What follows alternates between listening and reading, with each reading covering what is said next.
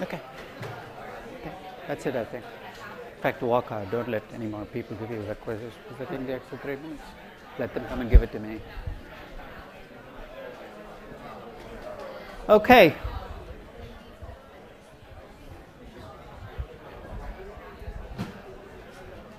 Nick, just tell people outside they can come in if they're waiting outside.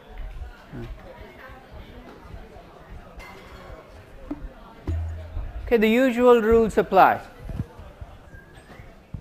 You know that already that there are two quizzes, so I can't tell you what answer goes with which one until I've looked at your quiz. But very quickly, this was, I, I remember when my son first took algebra. Oh, he's gone already, so give it to me. It'll take an extra three minutes, yeah. My first my, my son first took his uh, took his first algebra class i remember him coming home and saying dad what's the point of this class and i said Kiran, uh, your whole life is an algebra problem. The only problem in life is you have one equation and two unknowns. Be happy you're actually doing an algebra class where there's one equation and one unknown. And this was a quiz where you really had algebra problems in each of them. In what sense? I mean, if I told you A plus B is equal to C, then if I give you A and C, you got B, right? Think of problem three. What did I give you? I gave you the consolidated, and I gave you the parent.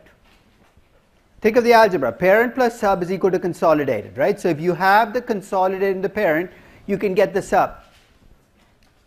It's actually almost exactly the same problem from like three years ago where I gave you the consolidated and the sub in that problem. Here I just gave you the consolidated and the parent, but it's, you know, you subtract one out from the other. The second problem, the big unknown was the return on capital, right? But what did I give you? I gave you the growth rate. It was in the problem already. That's why I gave you the income. And I gave you the reinvestment rate each year because it's the same reinvestment rate each year. Growth times is equal to reinvestment rate times return on capital. You have two, you can back out the third one. On the first problem, What's invested capital each year? It's invested capital from the previous year plus the reinvestment this year. So if I gave you that, and that was the significance of that total invested capital that I said, and I said if you don't get it, you're in big trouble on this problem already, you know, because it's a change in the invested capital that makes a reinvestment each year. Now I know you brought your toolkit to play. That sales to capital ratio, you used it in so many problems. You wanted to use it here, you don't need it.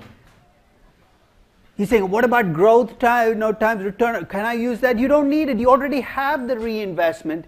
Why go looking for trouble, right?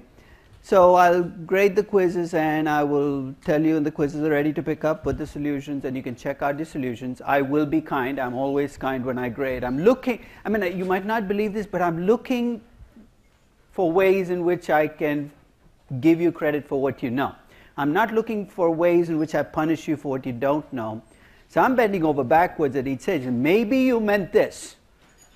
And I'm assuming the best possible scenario as to how you got there. The third problem was a mess. It always is. Any cross holding problem in, through the history of my quizzes always gives people trouble. You add when you subtract, you should be subtracting. You subtract when you should be adding.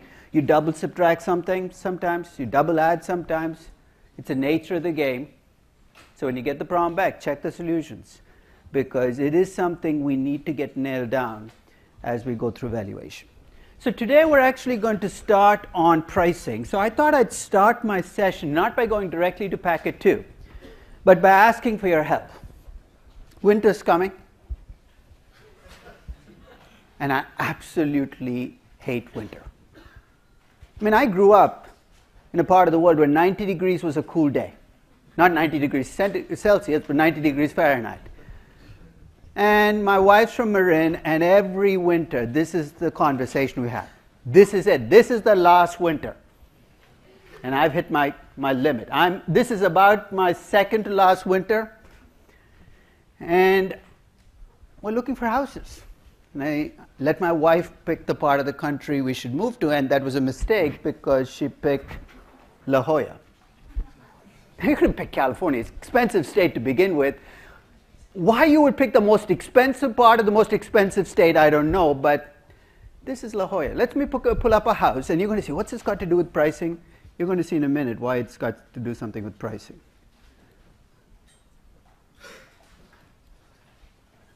So let me pull up a house. I don't even know where this house is. 475 Marine Street. And you can pull this up for any part of the country. You pull up, so this is a Zillow page. And you go down, there is a price listed, 2.9 million. Cheap house by La Jolla standards. Let me ask you a question. How did the realtor come up with that? Somebody put a number on this house, right? 2.9 million or 2.87, 2.895 million. I don't know why they do that little game of it looks cheap if it's 2.895, it's less than 2.9. How did the realtor come up with the 2.895 million? They looked at other houses, and this is part of the expertise that you pay 6% of your price for, right? The appraisal that the realtor bricks. If you've ever looked at a Zillow page for a, for a, uh, for a house, so there's actually an interesting number further down that some of you might have checked. It's a Zestimate. 2.81 million. How does Zillow actually has a Zestimate on every house? It's amazing. Even houses that are not up for sale, you can go down your neighborhood and check each house, and it'll give you Zestimate, Z estimate. Must be some amazing group of analysts at Zillow sitting down and estimating values, right? What does Zillow do? It does exactly what the realtor does, but it does it statistically. It says seven houses in the neighborhood in the last three months. We're going to extrapolate It's actually getting pretty close, and you don't have to pay Zillow 6% of your. You, do you see what's coming in real estate? The game is going to start to change because what we needed the realtor for, we don't need that realtor for anymore as much. So that 6% is going to become 4%, is going to become 3%. It's almost destined to happen. At least three people in this class are valuing Zillow.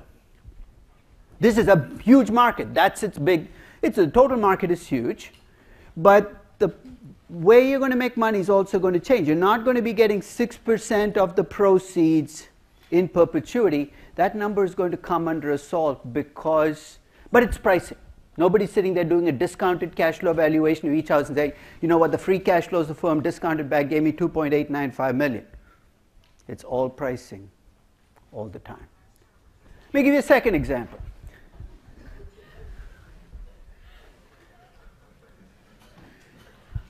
I don't even know what that was, and somebody's phone is talking. Um, any Alabama or LSU fans here?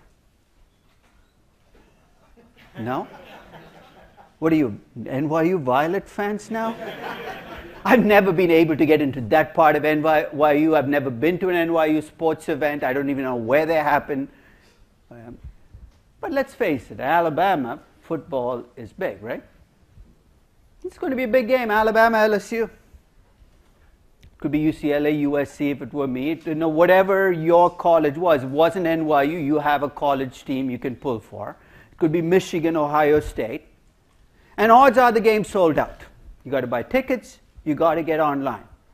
And if all these seat, I mean, all this StubHub and you know, Ticket City and all the, one of my favorite sites used to be, and I'll tell you in a minute why it used to be, there's a site called SeatGeek. It's an, it aggregates all these different sites. And what makes it interesting is if you go into any section, in this case I pick one section, section H because you want to be around the 50 yard line, and you look up prices, it lists the tickets available for sale. I'm saying, what's the big deal? It also ranks the tickets based on how good this deal is.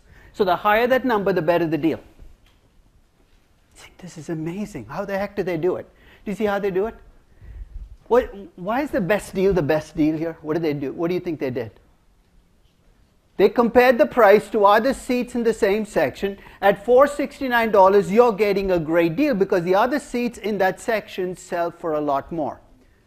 And you can get, I'm, I'm sure they have levels of sophistication. Row 1, for instance, should sell for more than row 10. So what SeatGeek has built is this neat little computer program that compares across a section, because obviously if you're in the end zone, you can't compare to somebody in the middle, and comes up with these rankings. In fact, they rank them from amazing to awful.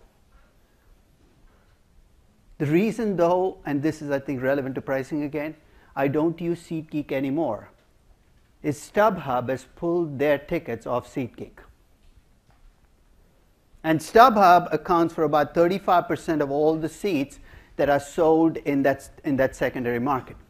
Now do you see why pricing is going to be affected? If I let you price on only 65% of the listings rather than 100%, I might be getting a skewed judgment as to what's cheap, what's expensive.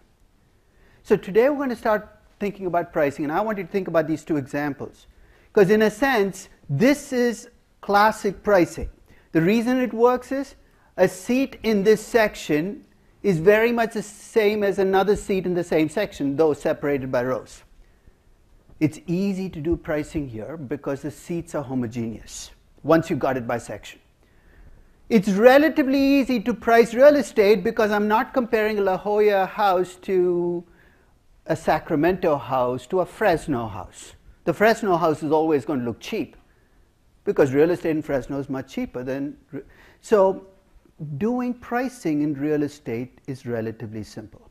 Today, we're going to talk about how people price stocks, and you're going to see already why pricing with stocks gets to be significantly more difficult than either of these examples.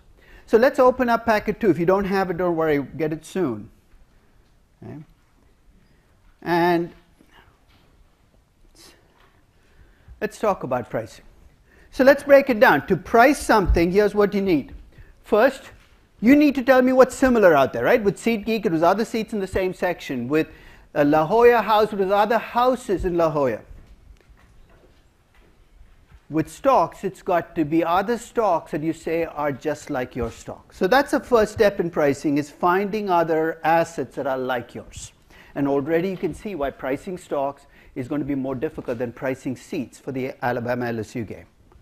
Second, unlike a seat where the price per seat is you get a seat, price per share is in a sense almost arbitrary. You're saying, how can it be arbitrary? We've to spend an entire class on value. Remember that value for equity that you got? The way you got to a value per share is you did what? You divided by the number of shares outstanding. Can I change that overnight? What happens if I do a stock split? My 100 million shares becomes 200 million, right? Or I can make it a 7 for 1 stock split like Apple did, and all of a sudden I've increased the number of shares sevenfold. So my price per share is, in a sense, a number I cannot compare across companies because if I do, what's the most expensive stock in the US market? Berkshire Hathaway.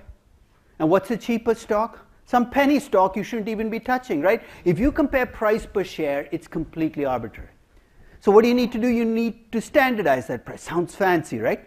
What does that mean? I have to divide the market price by something that I can compare. I can divide by earnings, I can divide by book value, I can divide. So you can, when, whenever I use a multiple, I'm just using a standardized price. In fact, even in real estate, you sometimes see standardized prices in commercial real estate. In, in residential real estate, it's kind of silly. Say price per bedroom, right? because when you look at houses, you don't rank. But if you're buying commercial real estate, you'll often see price per square foot. Because a three story building will sell for less than a 30 story building because you have more square, square feet in the, in, in the 30 story building. So you standardize the price. So you got comparable, or what you call, told me were comparable assets. You've standardized the price, you got multiples. You compare your company to those, and then you tell me a story. You pick up any sell side equity research report, you're going to see all three ingredients. You'll see a multiple that the analyst says, This is my multiple EV to EBITDA, EV to sales, price earnings, price to book. You're going to see a group of 15 companies that the analyst says are comparable companies, and you've got to take him at his word. And then you have a story. So, yesterday I put up my Valeant pricing as a valuation of the week. I kind of came to no conclusion there because it's neither here nor there because in some multiples it looks cheap, some it looks expensive. And that's one of the problems with pricing is if you have a strong bias towards or against Valeant, you're going to find in those numbers a justification. You'll pick the right multiple to back your story. You'll pick the right comparables to back your story. And you say, hey, my story makes sense. So let's talk about pricing, but before I go there, I want to go back and revisit a statement I made in the very first class. I made a confession in the first class. I said, we're going to spend a lot of time in intrinsic valuation. We've spent 15 sessions of a 25 session class. I know there's a 26 session, but that last session is for review and project analysis. So I've spent 60% of this class on intrinsic valuation. But I made a statement at the very first class that most of what you see passing for valuation out there is really pricing. Let me back up that statement. About 10 years ago, or maybe longer now, 15 years ago, I collected about 550 sell side equity research reports from around the globe, different sectors, different investment banks, different countries. I must confess, I didn't read all of them, that would have been torture. I collected them because I wanted to chronicle how sell side equity research analysts approached investing. Out of the 550 equity research reports, 45, 45 were intrinsic valuations. That's less than 10%. 450 were pricing, multiples and comparables. You're saying, what about the other 55? They were quite scary. No idea what they were. Search for self, psychological profiling, all kinds of stuff, anything but equity research. But among the ones I could categorize, 10 to 1, pricing outnumbered valuation equity research. I said, maybe it's different in corporate finance. So I was able to get my hands on about 100 acquisition valuations done by investment banks. And these are very difficult to get your hands on because when an investment bank does a valuation of an acquisition, it goes into a folder, inside another folder, inside a third folder, it's locked up because they don't want anybody to ever see that forecasted number on which the acquisition was based. But I have my sources. I got 100 acquisition valuations, most of them on the sly. And here it looked almost 50 50, that half were discounted cash flow valuations and half were pricing. Until I took a closer look at the discounted cash flow valuations and I discovered they were really pricing in drag. When we talked about Trojan horse valuations, in other words, they look like discounted cash flow valuations. They're all the terminology of discounted cash flow valuation, but the biggest number, the terminal value, came from six times EBITDA. Where did that come from? From looking at other companies trading at right now. So most of what you see out there is pricing.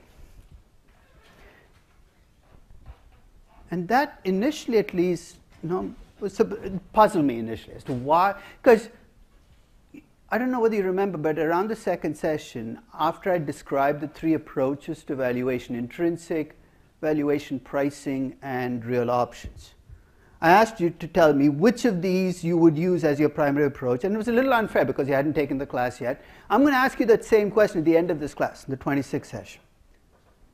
And in the 26 years I've been teaching this class, when I ask that question, the answer I get back from this class over the 26 years is can be broken down to 70, 20, and 10.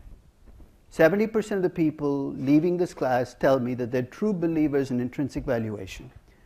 About 20% say, I like this pricing stuff. It's much simpler, much more straightforward. And 10% become believers in efficient markets after they've actually had trouble valuing a company. They say, hey, the market's not that stupid. This is really tough to do. Maybe I should just buy index funds. A very healthy recognition early on that'll save you a ton of money down the road. But among those people who pick a valuation approach and they leave this room 7 to 2, they say they're going to do intrinsic valuation in investing. I've never done a follow up survey five years later, but I'll wager that five years later I came to you and asked you, What are you doing in your job? How are you approaching putting a number in a company? I'll wager the numbers will get switched. So that led to some soul searching. What is it that happens between the time people leave my class and what happens on your desk that leads you to go from being a true believer in intrinsic valuation to a pricer? And I have three possible answers, and feel free to add to this list as to why peop- so many people out there, much as they like the talk of intrinsic valuation, are really pricers. The first came to me when I was watching a Seinfeld episode. You've all seen Seinfeld, right? The quintessential New York sitcom. In an episode, one of Jerry's girlfriends accuses him of being crazy. Says, Jerry, you're crazy. And he says, If you think I'm crazy, you should see the guy who lives across the hall from me. Talking, of course, about Kramer. Relative to Kramer, who's crazy? He's saying, What's this got to do with pricing? We forget how much of valuation is selling. We think of valuation as analysis, right? But almost, if you think about that realtor, why is she attaching a number to the house? Not to feel good about it, but because she wants to sell the house. Why does a banker put a number on a target company? Because he or she wants to get the deal done. It's far easier to sell something with a pricing than it is to sell it with an intrinsic valuation. Okay, let me give you an example. I know, I know you probably don't remember this, but in the last session I did a valuation of Amgen. I concluded that it was cheap at $55 per share. So I've done that research on a Friday. Monday morning I call you, you're a portfolio manager, I'm an equity research analyst. I say, you should buy Amgen. It's cheap. And you ask me why, and say, well, I used a reinvestment rate of 60% and a return on capital of 16%. I came up with a growth rate of 9.6%. I used a beta of 1.73, and I came, by now you've hung up the phone. Who has the time for this at 8 o'clock on a Monday morning? So let me try a different pitch on you. Amgen looks cheap. It's trading at 9 times earnings. Everything else trades at 15 times earnings. A remarkably unsophisticated pitch, but the hook gets in, right? You pick the multiple, you pick the right comparables, you can tell me whatever story you want. Your cholesterol is 300? Not too bad. Relative to people who've died of heart attacks in the last week, you look really good. It, all it depends on is your frame of reference, right? Real estate in La Jolla looks expensive, right? But relative to real estate in London, it looks cheap. Everything has a comparison if you compare it to the right group. So pricing works much better if your job is transacting, if it's selling. That's why you will not see valuation. If you're going to work at an investment bank, my sympathies, but you will not see valuations in investment banks. And it's, no, it's not because they're not smart enough to do it. It doesn't make sense for them because they have to get transactions done to make money. And if your job is to get transactions done, you are going to price things. Second reason why people like pricing. When you do evaluation, all your assumptions are out there for people to pick apart, right? So when I put my Uber valuation up two weeks ago, people said, I don't like your total market. I don't think they'll do this. Why is your cost of capital this? And every number was out there for people to say, I don't like that, I don't like that, I like that. In contrast, if I said, I'm valuing Uber at six times your 10 EBITDA, you want to pick at? You don't like the six times? Take a look at these other companies, they all traded six times EBITDA. I'm giving you a target this small to hit. So when I use a pricing, if you don't like it, I say take it up with the market. It's not my fault. And there's a third reason why I think people go with pricing. I believe that in the long term, you're going to be more often correct with intrinsic valuation than pricing. That comes from my faith. But I'm not saying 100%. You're probably going to be right 60% as opposed to 51% or 52%. But here's the catch. When you're wrong with intrinsic valuation, you're going to be wrong alone. You think, so what? You know what happens to people who are wrong alone? They lose their jobs. First rule on Wall Street is you're going to screw up, have lots of company. You know how you end up with having lots of company? You do pricing and you overprice everything and everything collapses. You say, don't blame me, everybody else was doing it. It's a survival mechanism. So, what I'm trying to say is don't fight this. Don't be one of these crazy people that says, I'm an intrinsic value person, I'm going to do intrinsic. If your job requires you to price things, you got to price it. And it's a realization that I didn't come to right away. When I first started teaching this class, I used to try to push people away from pricing to valuation. I don't try anymore because that might be what your job requires. So, for the next four sessions, what we're going to talk about is we're going to price things. Let's at least do that right. Let's use all the data, not the average for the sector, and just move away. So, one of the things I'm going to argue for is even if you're a believer in intrinsic valuation, you need to understand the pricing process. You need to understand it not just because the people you're working with might be prices, they understand multiples, they don't understand intrinsic value. But what do you need to have happen for you to make money as an intrinsic value person? The price has to move towards a value. So I think it's incredibly short-sighted to say, I'm a value person, I don't care about that pricing thing, but how the heck are you going to make money if you don't understand how prices move towards value? So I call that the market imperative. Nobody can ever ignore the market and say, I don't care what the market thinks, because ultimately you are at the mercy of the market, and you've got to understand how the market prices things. So what I'm actually going to do is essentially start by laying out the basics of multiples. And let's face it, there are dozens and dozens of multiples. Price earnings, price to book, EV to EBITDA, EV to sales. And it's easy to get overwhelmed by saying, hey, there are 25 multiples, which one do I use? If you boil it down to basics, and this is stating the obvious, might as well state it. Every multiple has a numerator and a denominator, right? In the numerator, you always will have to have a market based number.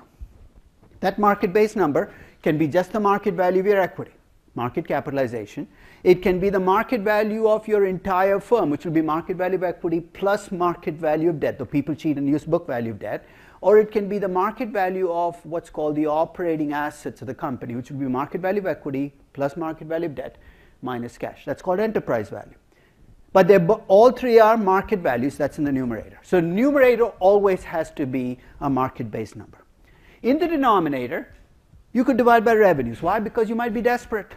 Desperate in what sense? You look down the income statement, everything is negative. For a multiple to work, the denominator has to be positive. So if you're looking at a young startup, you might use revenues because that's the only thing you have. But what if you have a company like Snapchat that doesn't even have revenues? Then you get really, really desperate. You look for things that might lead to revenues in the future. Like what? Subscribers, downloads, users, apps, whatever you need to. So you can have market value divided by revenues or revenue drivers. You can have earnings either to equity investors, which would be net income, earnings per share, or it can be to the firm, which would be operating income. You could have cash flows in a very rough sense. It can be cash flows to equity. Can either be free cash flow to equity, just net income plus depreciation, or cash flows to the firm, either the free cash flow to the firm or just EBITDA. It's a very rough measure of cash flow. Remember, you're no longer playing in the intrinsic value world anymore. You can say that's not right. You're just scaling it to something. You can scale it to whatever you want. You can also scale it to what accountants tell you this company is worth, right? Book value of equity, or book value of equity plus book value of debt, or what's called invested capital, what we've been playing with in discounted cash, which is book value of equity plus debt minus cash. So you've got a numerator and a denominator. So when next time you look at a page of multiples, take one and kind of take it apart and look at what's in the numerator, what's in the denominator, because here are the four steps to using multiples well. The first is we're going to start off by defining a multiple. You see, I know what the PE ratio is. Do you? Let's talk about it. Maybe your definition of PE and my definition of PE are very different things. We're going to pass the multiple through a couple of tests to make sure it's going to work. Then we're going to describe the multiple. Sounds fancy, right? Remember histograms in statistics? What do you do in a histogram? You just count. How many companies have PE ratios less than 4? 4 to 8, 8 to 12.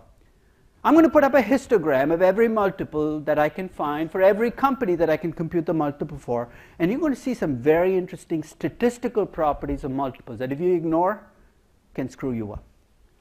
Then we're going to analyze the multiple. Sounds fancy again, but here's what we're going to do. I'm going to argue that embedded in every multiple are all the assumptions you're running away from in discounted cash flow valuation about growth and risk. You thought you didn't have to make them, you're just making them implicitly rather than explicitly. So I'm going to make it explicit. So I'm, at the end of that process, when you say, I want to use a price to book, I'm going to say, these are the four variables that you need to control for. And only then am I ready to use a multiple define, describe, analyze, apply. My problem with multiples is not that people use them, but that they're incredibly sloppy about the way they use them. They're in a hurry to get to that PE ratio. They don't want to stop and ask, define, describe, analyze, apply. If you follow this four step process, not only will you be able to understand the eight multiples we go through, but you will have a framework where if I give you a multiple you've never seen before, you have exactly the process for taking it apart. So, one way to think about what we're going to be doing in these next four days is I'm going to give you enough ammunition to stop that broker who's been bugging you for the last five years with recommendations from ever calling you again. Because when he calls and I have a great stock for you. Price to book of 0.75. I'll give you the four questions, or you will be able to come up with the four questions. If you ask that guy by the end of the fourth question, say, I'm never calling this guy again. He knows too much. And it's not that complicated. That's the part of the pricing process I want you to take away is to know what questions to ask an analyst, an investor, a venture capitalist to make sure you're not being taken for a ride. So let's start with the definitional test. Whenever I look at a multiple, these are the first two questions I ask. Is this multiple consistently defined? Let me explain. I said every multiple has a numerator and a denominator, right? Here's the first rule with multiples. If your numerator is an equity value, your denominator should be an equity value too. If your numerator is a firm or an enterprise value, your denominator has to be a firm or an enterprise value as well. It sounds incredibly abstract, but let's try a couple of multiples. Let's take PE ratio. What's in the numerator? Equity value, enterprise value, firm value. Equity value, right? Earnings per share, equity value, firm value, enterprise value. Thank God for small blessings. The most widely used multiple in the world passes the test. Numerator is an equity value, denominator is an equity value. So PE ratios pass the test. How about EV to EBITDA? What's in the numerator? Enterprise value, which is value of the operating assets, right? An estimate value of equity plus debt minus cash. Denominator, you have EBITDA. A measure of cash flow, absolutely abhor, but still a measure of cash flow to operating assets. So EV to EBITDA is okay too. What about price to EBITDA? The analyst invented this multiple should be tarred, feathered, and driven out of the fraternity if there is one. It's a horrible multiple. Out of those 550 equity research reports, seven used price to EBITDA. One of them happened to be somebody who took this class 15 years ago. So I called him. he said, Who is this? I said, Remember that valuation class you took at that time, six years ago? He said, Vaguely. I said, It shows. I said, What the heck are you doing? Dividing price by EBITDA? It's not consistent. He said, No, no, I'm being consistent. I said, What do you mean you're being consistent? He said, I use price to EBITDA for all 15 companies in my sector. I said, It's a very weird definition of consistency. And then I asked him a follow up question. I said, Have you been noticing that companies with a lot of debt in your sector keep looking cheap to you? He says, Yes, yes, I've been noticing that. I said, Have you ever stopped and thought about why that might be? Do you see the connection? What's in your numerator? Market value of equity, right? Let's play a game. Let's say I go out and borrow $15 billion and buy back shares. I'm allowed to do that, right? So, what's going to happen to my market value of equity overnight? It's going to shrink by roughly 15 billion, maybe by only 14 billion, but it's going to be a lot smaller. What's happening to my EBITDA? It's earnings before interest.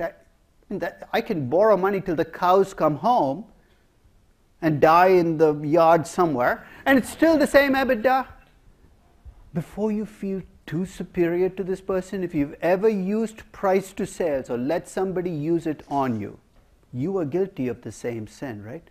And you'd be amazed at how many equity research reports I, say, I see that use market cap divided by revenues. And you know why they've been able to get away with it? What's the sector you see price to sales used most frequently? Technology. And why do you get away with it? Because they've tended to have no debt. But you know what's creating a problem even there? Even though you have no debt, when I take the market cap of Apple, there is the market cap of the company. It includes the software, the smartphone, etc. What else is in there? $200 billion in cash, right? It's going to bias you away from firms which have a lot of cash and towards firms that have no cash because of nothing else, holding everything else constant. I'm going to get a much lower price to sales ratio for companies with no cash. So check for consistency. You're going to be amazed at how many multiples will fail the test. Second follow-up question, is that multiple estimated exactly the same way for all 15 companies? It's a tough test to meet because when you use price earnings ratio, what I'm asking you? Are you using the same accounting standards? That's the first level of the test which means if I'm comparing 15 companies across countries, I might already have an issue. You're saying, thank God I'm looking at only GAAP. But you can have the same accounting standards and different degrees of fidelity to those standards, right? Which means that your earnings per share could be higher for aggressive companies and lower for conservative companies. So is it uniformly estimated? And that's one of the reasons you have to be terrified of what analysts are doing to earnings, right? Where they add back stock-based compensation and they add back for a Valeant, they were adding back the acquisition-based cost. It's become almost a game of 15 companies. If you wanted, you can make any company look cheap by just adding back stuff you don't want to subtract it out in the first place. So is it consistently estimated? I'm sorry, is it consistently defined, uniformly estimated? So let's try this on a few multiples. I already told you PE ratio was consistently estimated. Numerator is an equity value. Everybody knows what the PE ratio is, right? the one multiple where everybody, even people who are novices, even Anna Kournikova seemed to know what the PE ratio was. Do you guys remember Anna Kournikova? She masqueraded as a tennis player for like a decade. Won nothing but was in every commercial you could think of. This was actually a commercial made by Charles Schwab. I almost, I'm a Charles Schwab customer, almost terminated my account right after this commercial came out. Where Anna Kournikova in the commercial is playing somebody, must have been an actress, she was actually winning. So in tennis, you know how every two games you got to switch sides? So Anna and this actress are passing each other by. I don't know why this would come up in the middle of a tennis match. Anna turns to the actress and says, Price earnings ratio is price divided by earnings per share. And then she went on to say something about preferred dividends and went completely over my head. So I turned off the TV and remember thinking, does Anna Kournikova really know what the PE ratio is? I know the numerator is usually the current price. Unless you got one of those technical analysts gone crazy, you know ones I'm talking about who love moving averages for everything. They use a moving average price. If you ever run into somebody who uses a moving average price, here's the question to ask them. Have you ever tried buying a stock at a moving average price? Call your broker and say, I'd like to buy a stock at a 52 week moving average, please. Doesn't work. But usually it's a current price. It's in the denominator that you get the real game playing, right? I could divide by earnings per share in the most recent fiscal year, which for most of us is going to be 2014 which will be current PE. I can divide by earnings per share in the last four quarters, which is through probably June of 2015, trailing PE. I can divide by expected earnings per share in the next four quarters, which will be forward PE. I can divide by earnings per share in the year 2016, which is also called forward P, which is very confusing. Or I can divide by earnings per share in the year 2025, which is really, really forward P. Why would I do that? Desperation drives me to do strange things. I'm the biotech analyst. Nothing in my sector is making money. The only tool I have is P. I am completely and totally screwed. So here's what I do. I project out the earnings per share for every company 10 years out and say, this company looks cheap. It's trading at six times 2025 earnings. And you have no idea what that even means. But while you're scratching your head, they sold, sell you the stock and move on. It could be earnings per share before extraordinary items, after extraordinary items. Before employee option expensing, after employee option expensing.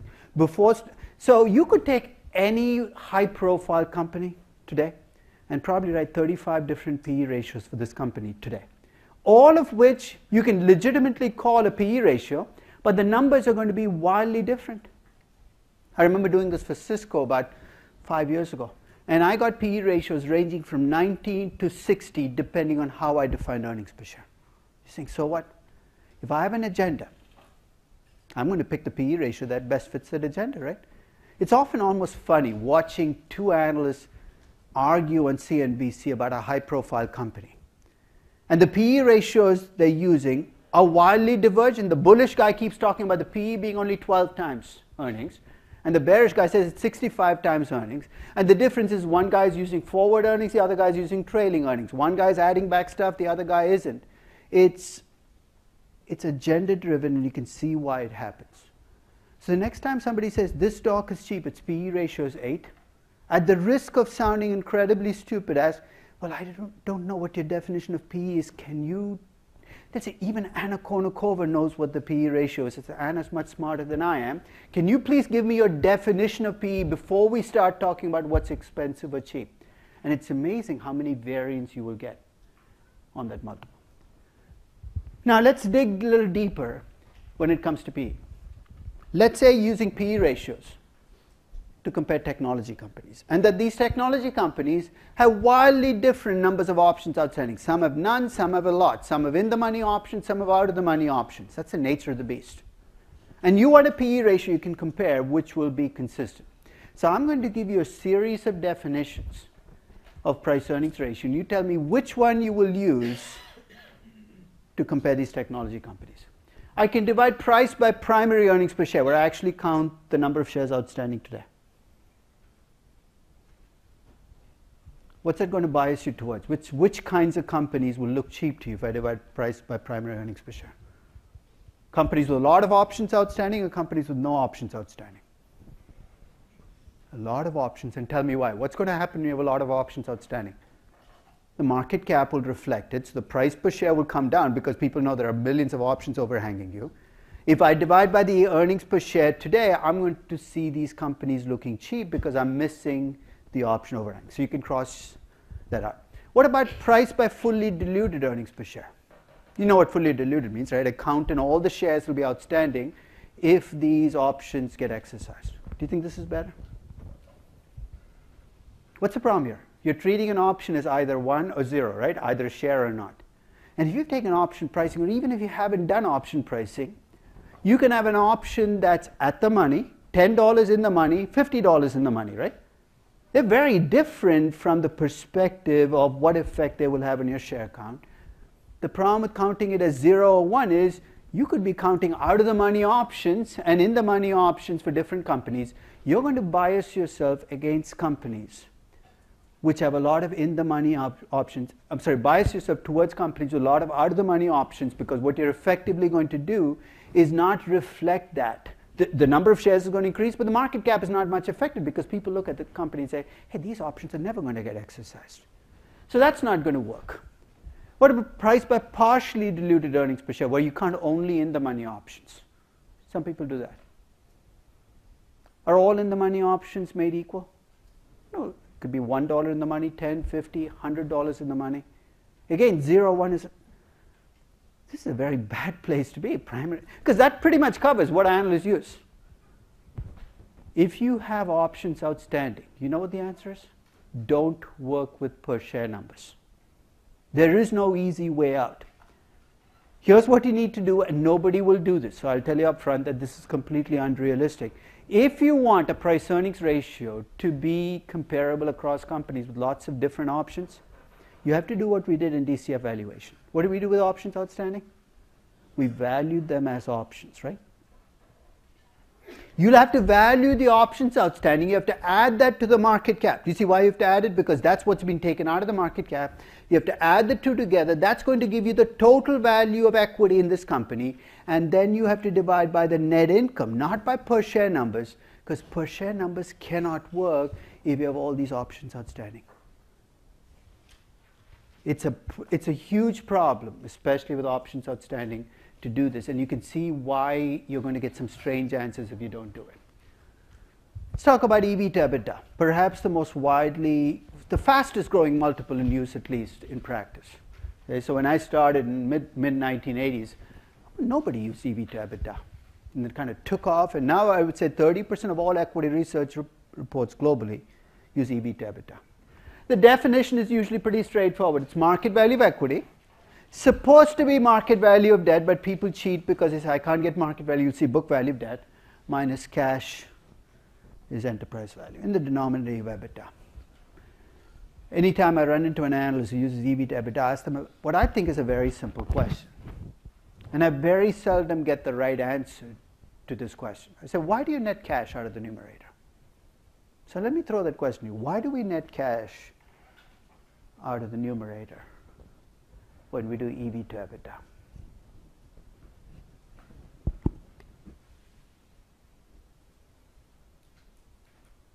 Nobody?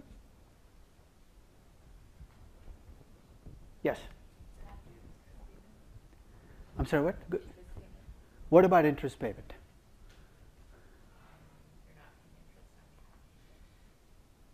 You're getting interest income from cash. I, you're, you're almost almost there. You're getting interest income from cash. Think of the consistency rule. Actually, you're almost there. You do the interest income from cash. In the denominator, though, you have EBITDA, which does not include that interest income. Do you see why we take cash out? Because the income from cash is not part of the denominator. The denominator is EBITDA. That already opens a Pandora's box. You know what else we should be netting out of the numerator? If I'm computing the EV to EBITDA for Yahoo, I take the market value of equity, which is about 40 billion. I add cash, which is about 6 billion, 5 billion. Subtract that, which is 3 billion. I come up with 42 billion as enterprise value. I divide by the EBITDA today, which is less than 800 billion. I get an EV to EBITDA of 50. Yahoo looks incredibly overpriced, right? But what am I missing when I do that? We've talked a little bit about Yahoo. Alibaba and Yahoo Japan, which are cross holdings, which are minority holdings, the income from which is not part of your EBITDA, right? So your 42 billion includes the values of those holdings. So what should we be doing? We should be subtracting out the 35% of Yahoo Japan and the 15% of Alibaba Doing what? By either getting the market caps if you're doing a pricing or intrinsic values if you don't have a pricing. Now do you see why even if even when people use EV to EBITDA, you cannot avoid the problem of cross holdings? It's a consistency issue. So it's a problem we face with multiples is being consistent. You can, and that kind of spills over into everything we do. One final example on the consistency issue, especially since the 2008 crisis, the housing crisis one of the questions that people looking at the housing market have asked is how do we know collectively when housing is in a bubble? Okay. With stocks, we have PE ratios. With bonds, we have interest rates. So, what do we do with? Because real estate, usually, especially if it's residential, there's no income to scale it to because you're buying it to live it. So, one of the ideas that people came up with is you can look at the housing price and you can look at the rental income you could make by renting out the house, and you can come up with a ratio of housing price to rental income. Do you see what you're trying to do? You're saying, is the price consistent with what I'd make if I rented this house out? My question is a very simple one. Let's say I could give you this number. And actually, there are sites that actually track this number now. if you go to the Zillow page, they'll give you both a Zestimate for your house and a Zestimate of how much you can make as rental income on the house. So you could compute what that ratio is in La Jolla and Fresno and in New York. My question is let's say you're comparing housing to other asset classes. Would I be comparing that ratio, if I wanted to be consistent in comparison, and I'm comparing it to stocks, would I be comparing it to a price earnings ratio, an EV to sales, an EV to EBITDA, or an EV to EBIT? First, why, why not price earnings? Why, why am I not comparing to price earnings? What's the numerator of my housing ratio? The value of the house. Not the value of the equity in the house, but the value of the house. So I've got to compare to EV. And then I'm dividing by rental income, which is actually my income before I cover depreciation. So actually, there is an argument that if you're going to do this comparison, it should be EV to EBITDA because it's the closest thing you can get to it. So if stocks are trading at an EV to EBITDA of 8 and houses are trading at 12 times EBITDA, very loosely speaking, you'd argue houses are overpriced relative to stocks. I wouldn't go that far, but you can see the kind of comparison you'd have to make. One final point, and then we'll end for the day. When we start next session, what I'm going to do is ask you to, to review your statistics, very basic stuff. Because the skill set you need to understand multiples is statistics. Because the problem you face in statistics is you have huge amounts of data pulling you in different directions, and you've got to make sense of large and contradictory databases. Statistics was made for pricing. In fact, if I had my druthers, every statistics class would be taught around multiples and comparables, because the payoff from the class is you might actually make some money on the class, rather than comparing weights of people to what they eat. Who cares? Right? So when we start on Monday, we're going to bring basic statistics to the game. It'll be Moneyball applied to stocks. Okay? So see you on Monday.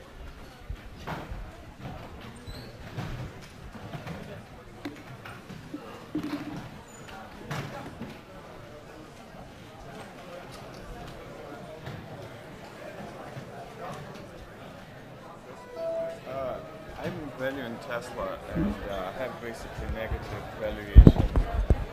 Um, like, and I don't know actually what to do because I use like margin rate average between like Toyota and GM. And, uh, by the end of 10 years, it's going to be the margin is what, 7%? 7, 7.5%, and Toyota is 10. Why do they have, the only way you can get a negative value of equity is if you have a big debt market. They don't have a big debt. Yeah, they don't have, but they have a lot of options, so it's like $4 billion. But that's after. The options can never make your equity value negative. They Yeah. can just make your equity value lower. So if you're getting a negative equity value, it's because the value of your operating assets is less than the debt. It's very sensitive to revenue to capex because Right, it has to be. That's your reinvestment. How many? Yeah, So yeah. basically, if you're using a sales to what is the sales to capital? I think it's 2.4 its average on industry. That's not bad actually. I mean, I think that there's something with those numbers. My my estimate, my my the the price per share you should be getting should be about 120 dollars per share. Would you mind if I like send you the Send me the valuation. It might be something, some tweak in the model that's causing it. Because 50 billion, seven and a half percent margin, and a sales ratio of 2.4. I have, I'm hard pressed. You might come up with a low value per share, but you shouldn't be coming up with a negative value per share. Okay. So send it to me. I'll take a look at it. Maybe there's something going on in the in the inside of the market. I ask you this Yeah. So if treasury, if you use treasury stock for options, like I get this different number if uh, the company buy back shares from the market or if it issues shares, like new shares, and it's going to be a little bit different numbers. Like It might be a little bit. It shouldn't be. What usually happens? Well, with the treasury stock approach to begin with, you're ignoring the optionality, right? The premium is time premium is gone. So it's actually you're assuming that options have no exercise. yeah. So the only difference between buying back shares today and waiting is the uncertainty about what will happen to the price in the future. So you're locking in the price today. Yeah. So you might get a slightly different number because of that assumption that you're locking in the price today, but both numbers are wrong because both are not taking into account the time premium on the option. And what, what usually happens? Like would companies issue new shares or they Depends on the company. It really depends on the company. About a third of companies buy back shares in the marketplace if they have the cash flows. So if you're a company like Microsoft in the 1990s with a lot of cash flows, you actually buy the shares back. But the kinds of companies that issue options usually do it because they don't have the cash. Yeah. And if you don't have the cash, you don't you can't buy back the shares anyway. So it's almost given the circumstances, in today's market at least, the kinds of companies issuing options can't afford to buy back the shares. So it's not even a question of do you want to, you don't have the cash. That's why you're using options to begin with. So Groupon or Grubhub or, or Zillow, when they issue options, they're basically saying, we want you to work for us, you're an MBA, we know we can't pay $300,000.